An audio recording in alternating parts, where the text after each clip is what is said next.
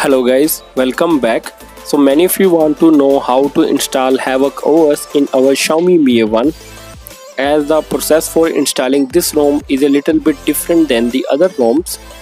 So watch the video carefully cause if you miss any step you will end up with a brick device. And if you have not subscribed to my channel hit the red subscribe button and also press the bell icon to get instant notification for all of my future videos.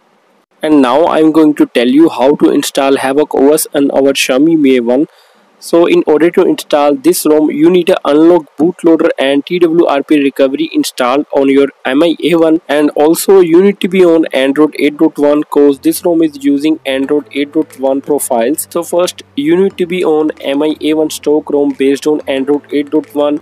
You can choose between June or July build and I am using July beta build in my Xiaomi Mi A1 and if you want to know how to install July and June build for Xiaomi Mi A1 I am giving in the links in descriptions box. Now moving forward, go to device settings and go to fingerprint and lock screen and remove all pin patterns or fingerprints. Now download all the files, links are in description box. You can download all the files and paste it on your Mi A1 now power off your Mi A1 and once your device is power off hold the power button and volume up button to go into recovery mode. Now as you can see we are in TWRP recovery mode. So first you need to do is to make a backup cause if anything goes wrong you can always restore your backup and go back to your current ROM. So make a backup first and after making a backup go to wipe go to advanced wipe select cache or dalvik system or data and swipe to wipe now as you can see we have successfully wiped our current ROM now hit the install button and navigate the Havoc OS ROM zip file. Select that. Now tap on add more zip files and select the TWRP recovery installer zip along with ROM. Don't flash the GF package as of now. First flash these two zip files.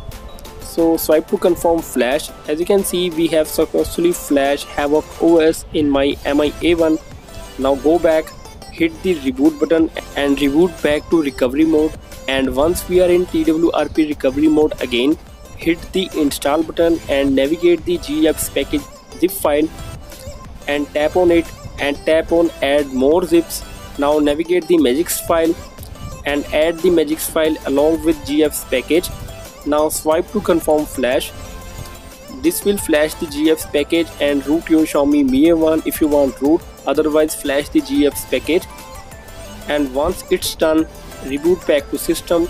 And as you can see we have successfully flashed Havoc OS in my Mi A1 this is the boot screen of Havoc OS so that's it for now. I hope you guys enjoyed my work. Please give it a thumbs up and subscribe to my channel. Till then I am signing off. Bye bye